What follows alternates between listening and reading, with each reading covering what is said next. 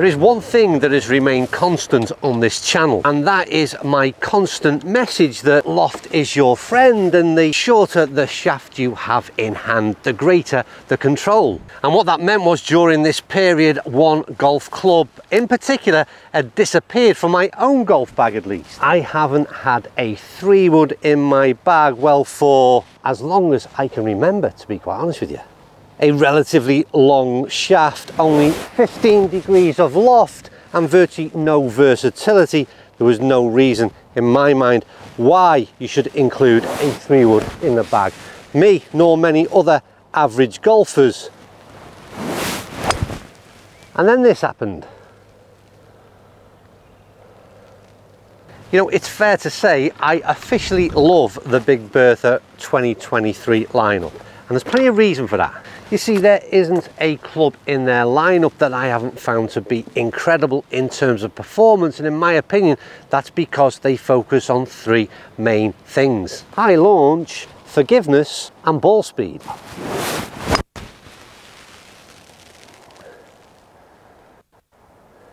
And the three wood is clearly no different and that starts because of the loft of 16 degrees which is a little bit weaker than traditional. And the fact that we can crank this up by an extra two degrees makes this even more of a flexible club to have in the bag. And I rarely say that about a three wood. And then there is the length of shaft which again is quarter of an inch shorter than standard. Certainly that of the paradigm three wood in the same family. But that then there are another couple of differences between the Big Bertha range and the Paradigm. And the major one being the difference in the head size. The 180cc head is on the Big Bertha and that's a slightly bigger sort of crown and overall profile than you'd normally expect. The Paradigm by equivalent is 171cc. So for a lot of golfers, this is going to be a lot more confidence inspiring.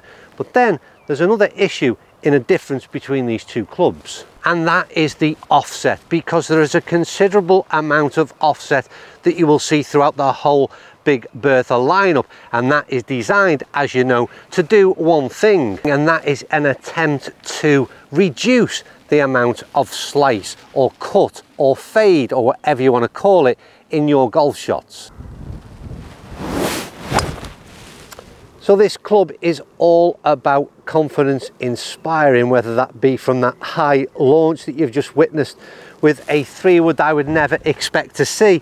Then there is that head profile, which again, I've already mentioned, inspires confidence. And then there's that greater control from that shorter shaft that is in this three wood. So everything that Big Bertha does, in my opinion, with this range is attempt at least to make the game more enjoyable and a little bit easier but they managed to do it in what is a fairly good looking profile in my opinion. So although it's that 180cc head it doesn't become a huge thing at all by any means. And it's quite a flat and low profile which sits really nice on the turf especially when you're looking to play from the fairway.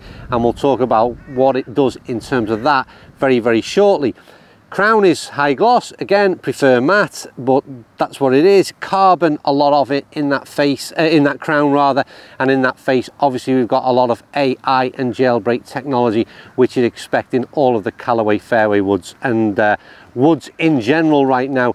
From the underneath, I've already said on the other products it needs a bit of a revamp, in my opinion just a little bit of a modernisation. It's got quite a dated look now, but for the Big Bertha, uh, traditionalists, they're going to love what they're seeing. That adjustability is key, both up and down in terms of its versatility. And the one thing they've not compromised, although this is high launching, the CG will be way back. I'm not seeing it being super spinny and I'm seeing good ball speed. And the drive I've just hit, or the tee shot you just hit, see me hit off that last shot, where it landed on the fairway, was a considerable way down and surprised me a little just as to how far that had travelled. So overall package is looking super good. We've now like i said got to take this onto the fairway and see what it's like with 16 degrees aloft and that cg way back. Can we start to pick this ball up off the fairway and make it a club that is really worthwhile including in your bag setup Today's video is brought to you in partnership with Hot Golf, the online golf megastore, bringing you the hottest deals in golf,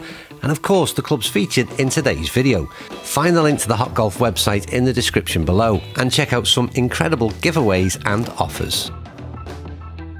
But it is this situation which has basically made the three wood redundant in my bag. And that's from the fairway because I really just don't like playing them.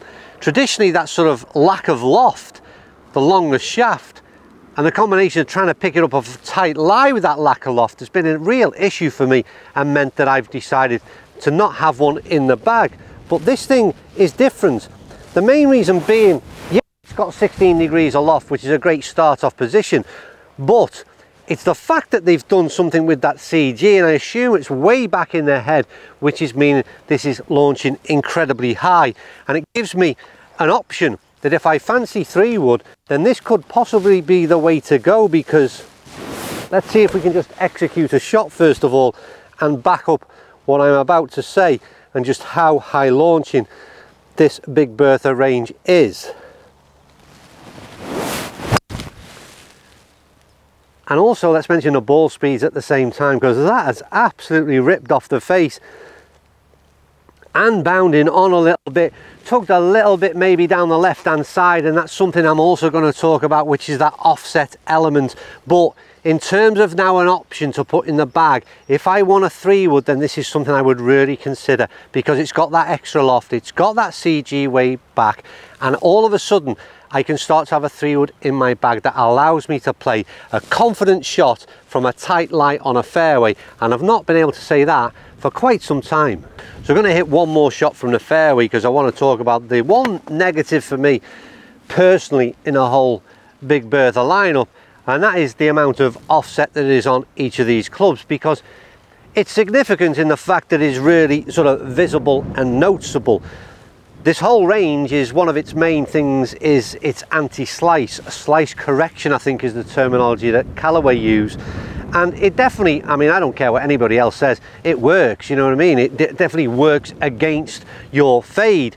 But for me the issue is and i fade the ball is i like to have the control i like to be able to fade the ball. And with this it sort of takes away that ability uh, to a degree and it also has me sort of adjusting alignment just a little bit when I'm stood over the ball and that's not something that I would like to be doing. I want just a natural position uh, adopted at address as soon as I put the club down. So that's the one negative that you've got to be aware of that is offset on these clubs that is going to not bother some but for others it would be really off-putting. Anyway one more go from the fairway. And let's see if we can get another high launching Big Bertha three wood? And the answer is yes. I mean, to a degree where it sort of defies its loft yet again, just to how high it pops this thing up. And the ability to do that with a three wood is something that makes this a whole different club and a whole different option for so many average golfers. So my final word on Big Bertha 23 three wood is um, impressive and potentially something that you would look to put in your bag if you're insistent on having a three wood. My own personal preference still would be having hit the three wood, the five wood and the heaven wood. I still think the standout fairway wood within this lineup is that five. Because of its adjustability, you can decrease the loft and take it into a sort of uh, almost a four wood. You can add a couple of degrees and make it into a heaven wood. And you can't quite do the same thing with this three wood. I would again personally look to um, add a couple of degrees of loft, maybe certainly one degree of loft and make it just a little bit weaker to be even more flexible, if you like, than the standard three wood. Look, it's an option. It's really impressive in terms of its performance. I said they do three things, high launch, yes, incredibly well, forgiveness without doubt, and then ball speed is probably the surprise that they've thrown in there, and this is still super quick and super long as well at the same time. So it's an interesting combination. You've there then got to decide does a three wood really work for me in the bag? For me personally I'd still be a little bit undecided but I do think this is an option that you can now seriously consider. Right that's me done as ever. Thank you for watching. Let me know if you've tried any of the Big Bertha 23 range currently. Your feedback is always welcomed and shared amongst your fellow golfers. So yeah thanks for watching and I'll see you tomorrow night